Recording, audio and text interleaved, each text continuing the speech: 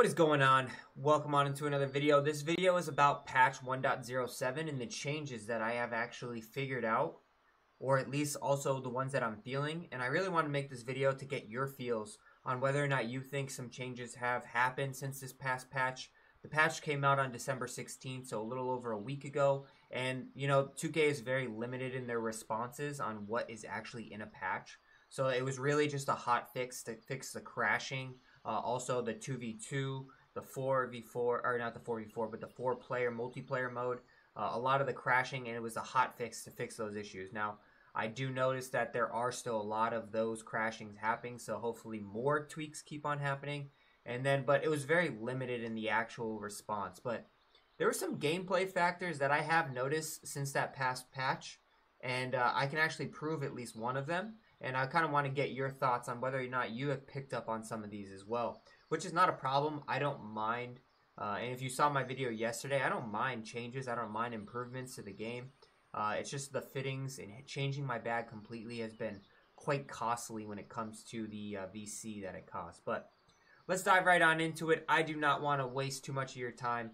Don't forget to like and subscribe. I try to keep you guys updated. Also, I do live streams, which all my live streams are Q&A, so you guys can hop in, uh, drop your thoughts, put in any recommendations, ask questions about the game. Yesterday, somebody asked me a full-scale question about fittings and everything, and I went deep dived into it. I don't mind. I do these live streams on Wednesdays and Saturdays. Wednesdays is usually a night stream, so it's like 4.30, 5, 5 o'clock Eastern Standard Time. And then I do another one on Saturday mornings around 10, 11 a.m. Eastern Standard Time. And I usually put out a day before um, a little upcoming uh, post on my channel just to give you guys a heads up. So feel free to hop in, ask whatever questions, and uh, feel just drop in some questions down below if you guys want. But let's start covering some of these changes. So right now I'm going to show you guys. I did this test for lie range about a month ago and I showed a 90, a high 90s versus a low 70s lie range. And the fact is that there was really only a 1% difference between the heavy rough and on the high versus the low. So I showed like lie range really had no effect in it whatsoever. And it was around 77 to 86%, just like I have here for the high number. And then the low number in the low 70s was like 75%. So it really only dropped like 1 or 2%. And I don't know if a dev saw my video or whether or not they just figured it out on their own that somebody made a mistake along the way and lie range really had no impact on a high versus a low and you really didn't have to focus on that. So let me just show you guys real quick right here. This is obviously my gap wedge. I have my high rating here. So you guys can see it's 77 to 86%. Now I'm going to go back in and I'm going to switch out to my low rating and I'll go to the exact same spot. I have it marked off. Same spot that I used in the previous test as well. And you're going to see that there is a difference now. And lie range is a major factor, which has been a huge difference. Now I'm going back to, it's going to be a 72 rating. So like I, I didn't spend any points. I didn't worry about any of my fittings having a high lie range because it really did no factor and I didn't want to focus on it. But now I had to change my bag completely as one of the reasons why I needed to uh, focus on this. And that's simply because lie range matters now.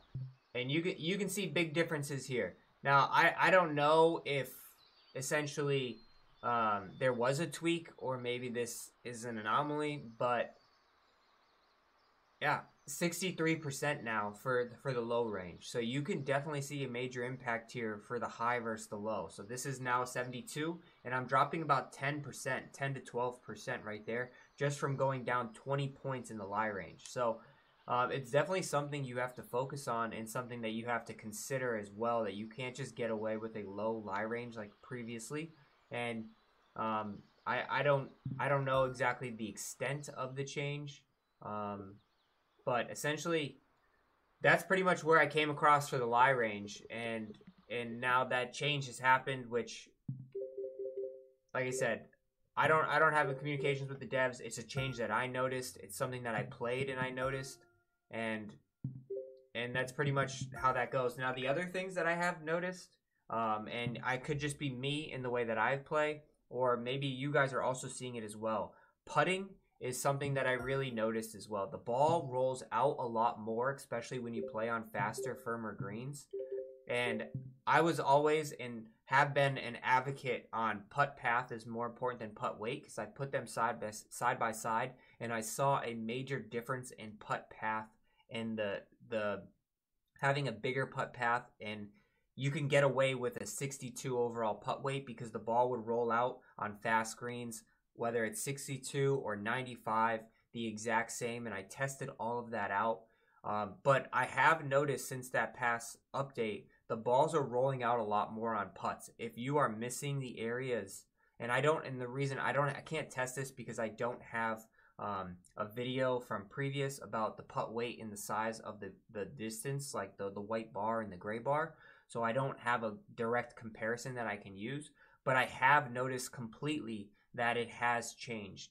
Um, and that, that could just be, like I said, could be my feel, but I do notice the ball has been rolling out a lot more downhills and um, putt weight is, I, I firmly believe putt weight is more important than putt path now than it was previously. And I don't know if that change has just come with the recent one uh, or what, but I do recommend switching more to a putt weight and making sure your ball is not rolling out crazy downhill anymore because I do believe there is a focus more on that.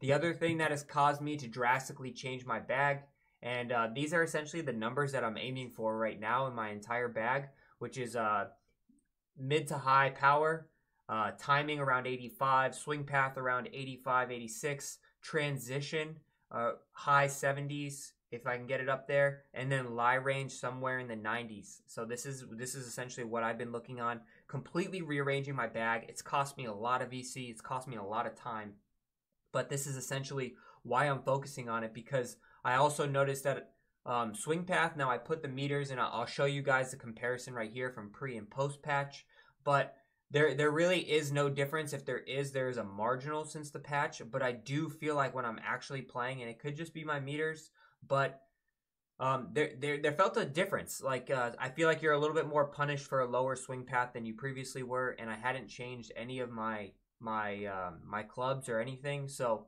I've focused a little bit more on changing my numbers to a little bit more heavy on the timing and the swing path. I am still using the Woodsman build simply because that lie range factor is a major factor now compared to what it was previously um, and just my testing. So let me know down in the comment section what you guys think. If uh, you noticed any other changes that I've missed, or um, maybe you haven't noticed any of these changes and it's just something that I'm feeling compared to what I was a week ago.